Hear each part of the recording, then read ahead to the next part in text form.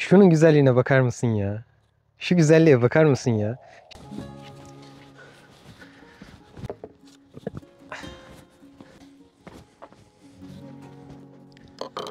Evet, herkese selamlar. Ben Kamer. Doğu Karadeniz bölgesinin kıyı şeridinde bir dağda dağ evinde yaşıyorum. His deneyim ve tecrübelerimi paylaşmaya, aktarmaya çalışıyorum. Bugün aslında çok farklı bir şey deneyeceğim. Bu deneyimimi de sana paylaşacağım. Şu an karabalta. Hiçbir fikrim yok. Gerçekten hiçbir fikrim yok. Sadece damağıma gelen o tadı yakalamak istiyorum. Eğer sonuç güzel olursa da paylaşacağım. Kötü olursa da paylaşacağım. Şimdi ilk olarak makarna hamurumu yoğurmam gerekiyor. Burada yumurta sarım var. Burada da unum var. Şimdi ilk olarak hamurumuzu hazırlayalım. Evet. Evet şu anda biraz acele ediyorum. Çünkü yağmur sanki patladı patlayacak gibi. En azından diyorum ki hamurumu hazırlayayım. Daha sonraki işlemleri yağmurda da halledebilirim. Sadece un ve yumurta sarısından oluşan bir hamur hazırlayacağım. Sen istediğin gibi yapabilirsin eğer denemek istersen. Bugün gerçekten çok farklı bir deneyime giriştik. Umarım bunda muvaffak olabilirim. İlk olarak yumurtamı unun içinde çırpıyorum şöyle güzel bir. Uzun zamandır yemek yapmıyorduk. Bugün çok değişik bir yemekle bunu taş, taşlandırmak istedim. Geçen sene Menekşe zamanı geldiğinde Menekşe'den Konya menşeili, daha doğrusu Konya coğrafi işaretli bir yemek yapmıştım. Neydi bu? Bulgur ve yeşil mercimekten oluşan menekşe çiçekli bir pilavdı. Yanına menekşeli bir salata ve yanına menekşe çayı vardı. Bu sene bunu biraz daha farklı bir yere taşımak istedim. O yüzden de kendimi biraz zorlayacağım. Ve bakalım bu zorlamanın sonucunda sonuç ne olacak çok merak ediyorum. Bugün menekşenin baskın olduğu bir makarna yapacağız. Umarım muvaffak olabilirim.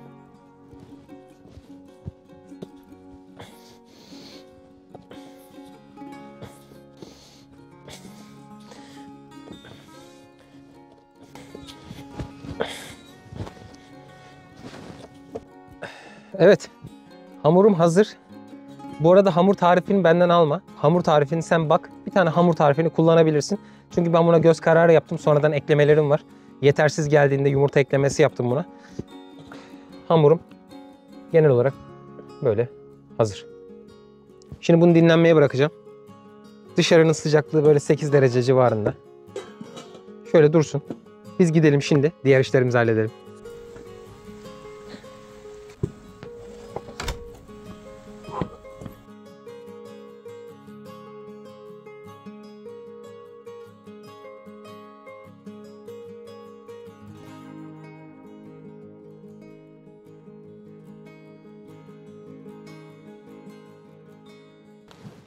İşte benim güzellerim, menekşelerim.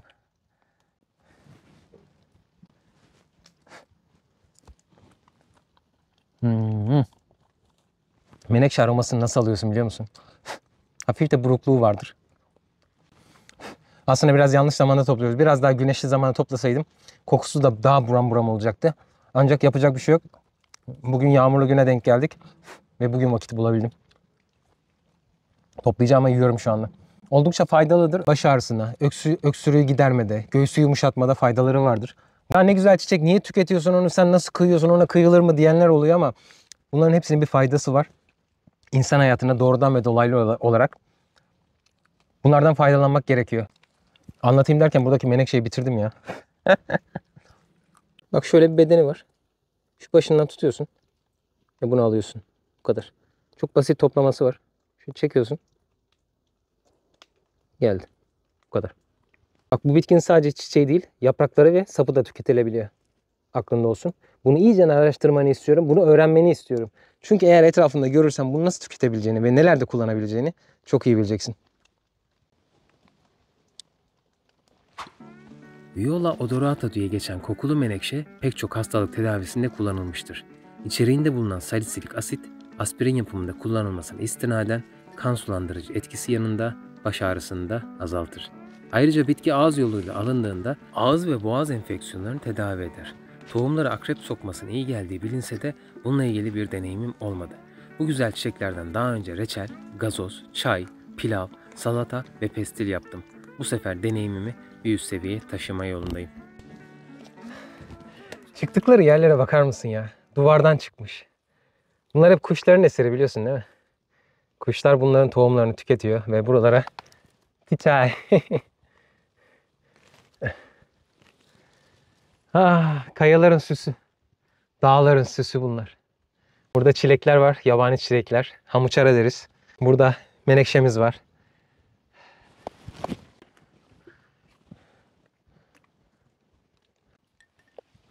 Bak tam burada da çuha menekşesinin bir türü var. Biraz daha uzun saplısı. Bunlardan da makarnaya katacağım. Ama farklı bir şekilde. Bunlar da tüketilebilir. Şurada çok güzel bir tırtıl var. Onu da göstereyim sana ve biraz bilgi vereyim. Bak şimdi şu güzelliğe.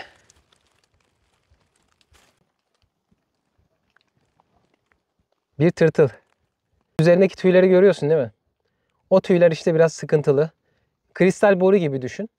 Onlar tenine değdiği an, hassas tenine bir anda e, içindeki zehri boşaltıp alerjik reaksiyona sebep olabilir.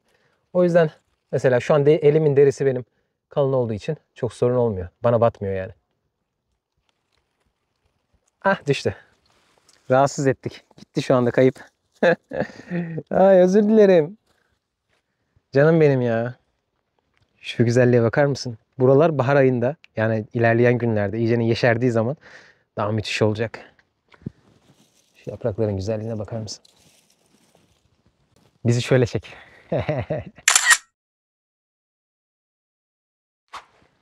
Bak bunlar da çuha menekşesinin bir başka türü. Bak görüyor musun? Nasıl çıkmış?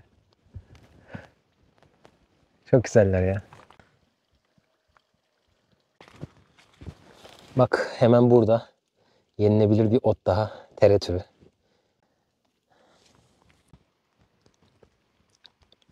Acı. Acılığı yoğun. Evet, devam edelim. Ah. Menekşe son bir yer daha kaldı. Oradan da toplayacağım. Ondan sonra eve geçeceğiz. Şöyle görmüşken taptaze. Tam bir öbek var burada. Altında turplar var. Yabani turp. Bununla ilgili daha önce de anlatmıştım. Şimdi ninemin anlattığı bir şey vardı. Annesi böyle ekmekle e, biraz bundan yeşil kısmından alırmış. Yabani turp otunun şu yeşil kısmından. Biraz da zeytin. Geçermiş kenara öyle yermiş. Çok hoşuna gidermiş. Ninemler de görürmüş canları çekermiş. Öyle güzel tatlı tatlı yermiş ki.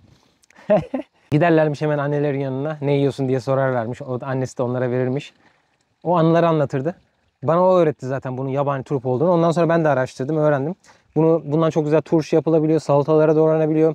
Kökünü yine aynı şekilde salataya doğrayabiliyorsun. Şu çiçek kısımlarını tüketebiliyorsun. Şu an bunlar çiçek açacak zaten. Tam şu kısmı komple tüketebilirsin.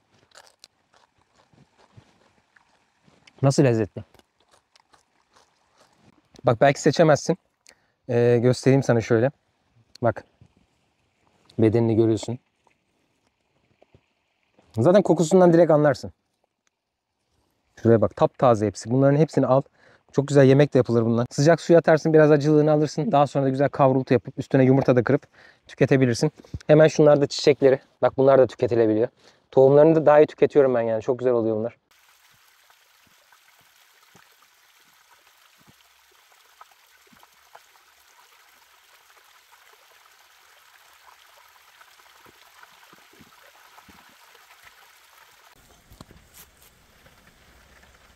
Şuraya bakar mısın? Öbek öbekler. Menekşeler. Çok güzeller ya. Aa bak burada meyveleri oluşmuş. Yakından göstereyim sana şunu. Bak hemen her canlının bir türeme yöntemi vardır. Bak işte kuşlar bunu yiyor. İçindeki tohumları görüyor musun? Bu tohumlar etrafa yayılıyor. Böyle taşların arasından, kayaların üzerinden çıkıyor işte. Şu çiçek bile türünü devam ettirmek için nasıl çaba gösteriyor. Görüyorsun değil mi? Güzellerim benim. Şimdi menekşeyi buradan kopardıktan sonra kokladığında çok hafif bir kokusu vardır. Ancak bunları bir yere toplayıp hepsini birden kokladığında işte o menekşenin etkileyici kokusuyla buluşuyorsun. Buram buram şu anda menekşe kokuyor. Bu da bana şunu anımsatıyor. Belki biraz e, romantize edilmiş bir cümle olabilir ya da bir tabir olabilir. Tek başınayken gücün bir yere kadar ama birlikteyken gücün daha fazla diye düşünebilir miyiz? Çünkü bu tek başınayken o kadar güçlü kokmuyor ama çoğulken yani bir topluluk halindeyken etkileyici bir kokusu var.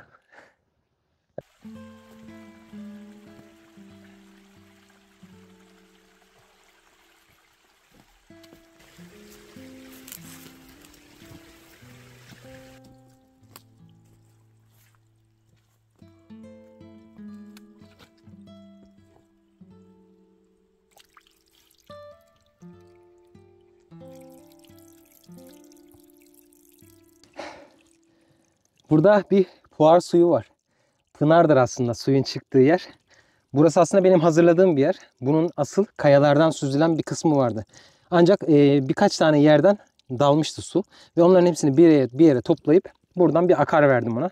O toprağın içinden, derinliklerinden gelen su tam olarak buradan akıyor. Bu bizim ta eski zamanlarda dağ evinde kalanların gidip puardan aldığı içme suyu aslında bu. Bunu işte tekrardan hayata döndürdük.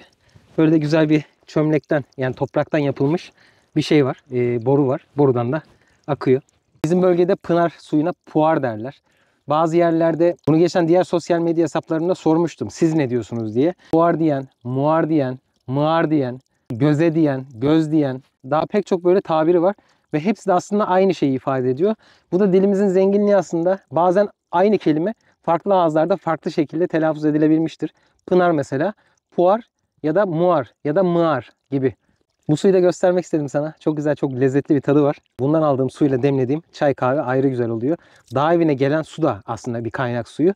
Ama bunun tadı hem de böyle bir hikayesi var ya bizim geçmişten kalan, atalardan kalma bir suyumuz. Hemen de arazimizden, topraktan çıkıyor. O da ayrı bir kıymetli. Hadi devam edelim.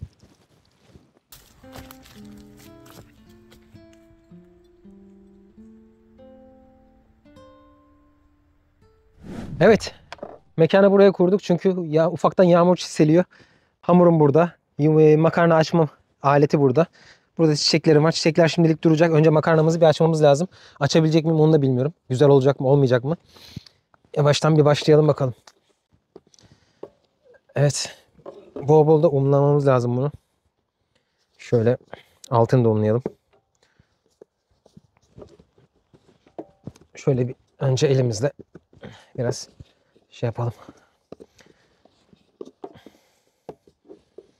Makineye girecek kadar kalınlığa gelene kadar açacağım bunu. Ya makarna açma konusunda uzman değilim. O yüzden şimdiden özür dilerim. Bu da güzel bir deneyim oluyor. Menekşelerimizi topladık. Şimdi hamurumuzu açacağız. Ee, suyumuz ısınıyor. Çok hızlı olacak zaten. Ee, hamur açtıktan sonra biraz bekleyeceğim çünkü menekşe pesto yapacağız. Pestoyu biliyorsun. Fesleğenden yapılır genelde. Ama onun daha çeşitleri var. Roka pesto var. Maydanoz pesto var. Çeşitli çeşitli şeyden pesto yapmışlar. Ben de bugün menekşeli pesto yapacağım. Daha önce yapıldı mı bilmiyorum. Yapılmadıysa bu da benim bir ilkim olacak. Gastronomi dünyasına.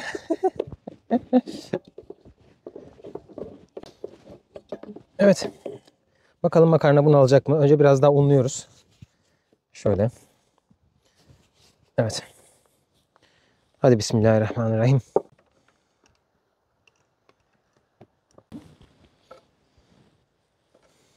Makarna çıkmıyor ya. Niye çıkmıyor? İkiye bölelim bunu da. Yoksa böyle olmayacak. Ne yapacağım ben ya?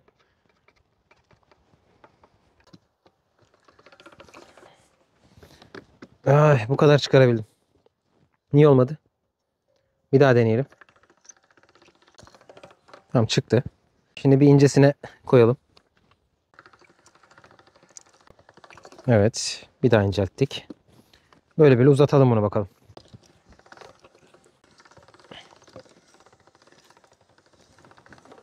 Evet. Bir daha incelteceğiz.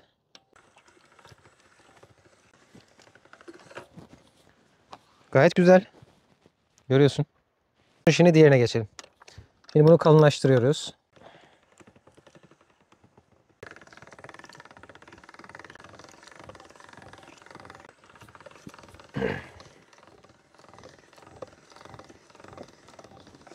Gayet güzel. Bak görüyorsun.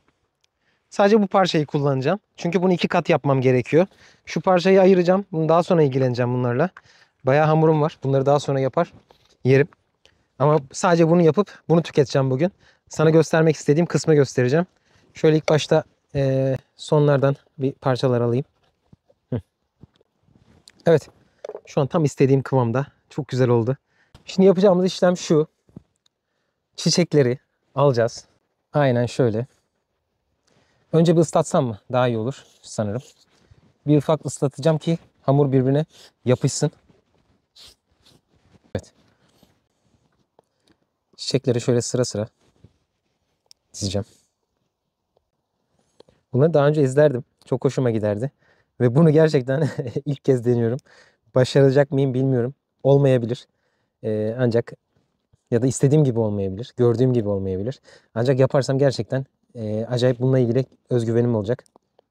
Ve bununla ilgili daha fazla e, içerik yapabiliriz. Kendi özel hayatımda da daha fazla bu tarz şeyler yapabilirim. Şu saplarını kesmeye karar verdim. Çünkü bunlar hamura zarar verebilir. Yani çiçek tamamen yapısını istiyorum şey hamura. Evet.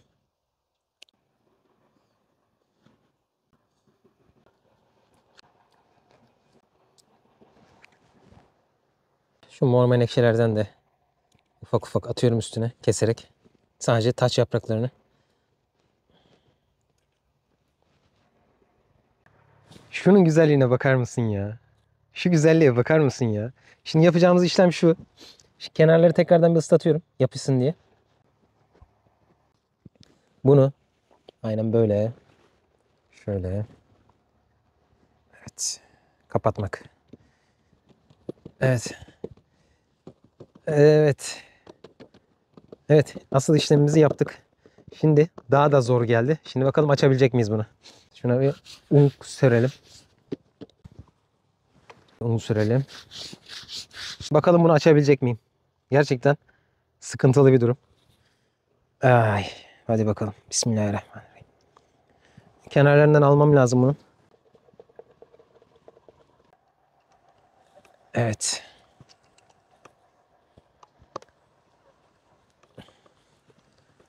Hadi bakalım.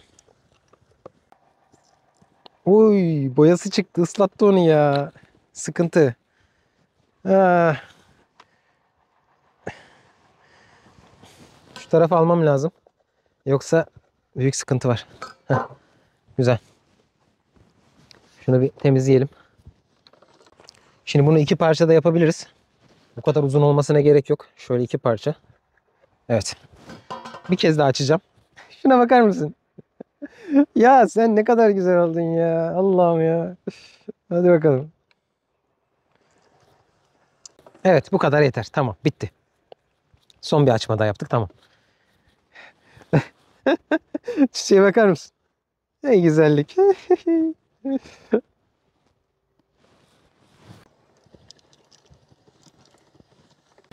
İşlem tamam. Çok güzel oldu. Çok. Şuna bak. Şuna bak. Hey yavrum hey. Şuna bakar mısın? Şükürler olsun ya. İlk kez denedim bak. İlk kez denedim ve gerçekten bundan sonra çok deneyeceğim herhalde. Tadını merak ediyorum. Bu sadece görüntü. Asıl tadı verecek olan menekşe pestomuz zaten. Şimdi bunu kesme zamanı geldi.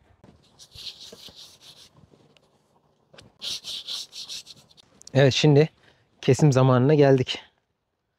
Kesim zamanı. Hadi bakalım. Bismillahirrahmanirrahim.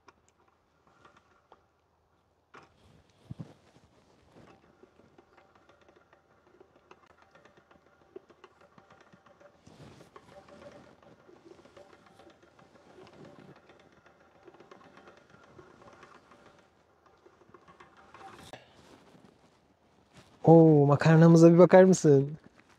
Şunlara bak.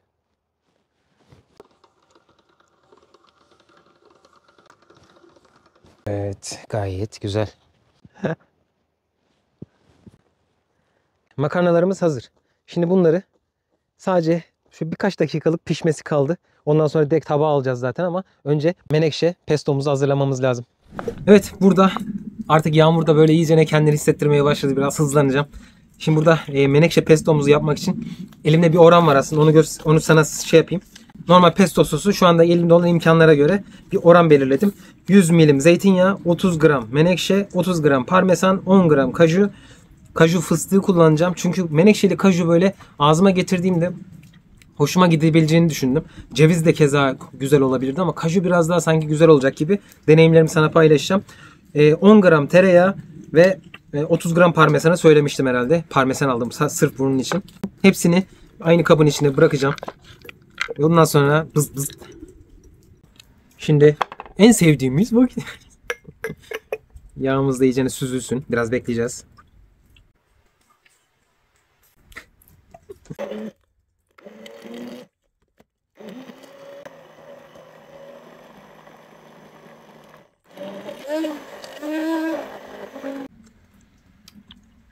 Biraz da sarımsak mı koysaydım? Lezzeti arttırır. Sarımsak atıyorum. Suyum kaynadı. Makarnam hazır. Hafif de bir yağ dökseydim ona dur. Zeytinyağı. Şimdi makarnamı yavaşça koyacağım. Hadi bakalım Bismillahirrahmanirrahim. İnşallah güzel olur. Evet. Döndürelim. Çok hızlı pişecek bu zaten. Ondan sonra direkt diğer tavamızı alacağız ve soslayacağız. Heh, şu makarnalarımız pişti. Bunları alıyorum. Şöyle.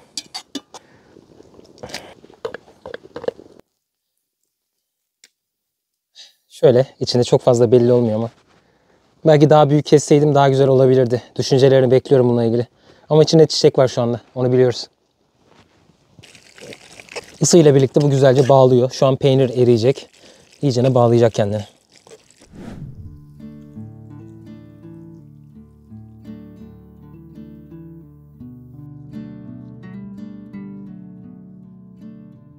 İşte menekşe pestolu makarnamız. Hadi bakalım.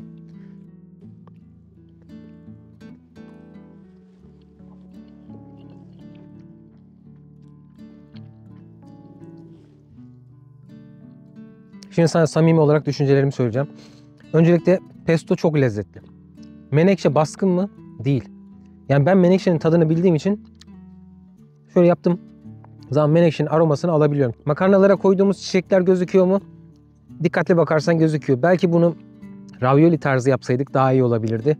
Belki bir hatam odur. Ancak şu an makarnaların içinde de şifa var.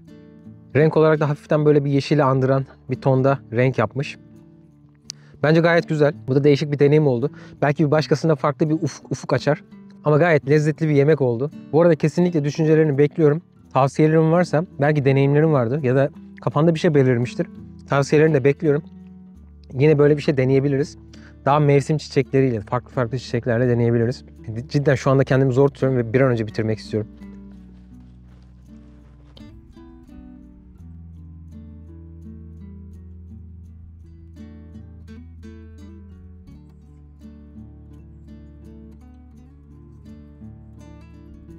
Evet kapanışta menekşe çayıyla yapıyoruz. Geçen seneden kalan kurutulmuş menekşeler. Böyle yeşil mavi tonlarında bir rengi var.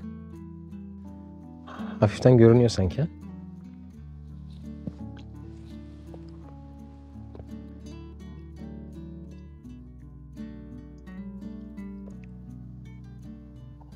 Bütün güne baktığımızda giriş gelişme çok güzeldi. Çiçeklerin böyle daha bariz belli olmasını çok isterdim. Yaptığım menekşe pestoda yoğun aroma isterdim. Yoğun menekşe aroması. O da tam olmadı ama değişik de böyle bir güzellik kattı. Gerçekten o tadı alabildim. Belki şöyle yapsaydım. Daha önce yaptığım o pilavdaki gibi makarna piştikten sonra üzerine çiğ olarak yine bir sürü böyle bir menekşe koyup onları bir harmanlayıp öyle yeseydim. Hem pestodan alacağım o hafif aroma sonra menekşenin kendi aroması derken hem de görsel olarak da daha güzel olabilirdi. Belki bir dahaki sefere onu deneriz ya da farklı bir şeyler de deneriz. Aklımda var bir şeyler. Ancak Menekşe'yi böyle bir şeyde değerlendirmek istedim. Menekşe'yi nelerde değerlendirebilirim? Bu halde nasıl yapabilirim? Onunla ilgili de düşüncelerini paylaşmanı istiyorum. Evet bir sonraki videoda görüşmek üzere. Kendine iyi bak. Sağlıkla kal. Hoşça kal. Ha, bu arada bu videoyu bu kadar acele ettirmemin, yağmurda yapmamın sebebi de yarın Ramazan'ın ilk günü. Şimdiden herkesin Ramazan'ı mübarek olsun. Oruçlarımızı Allah kabul etsin.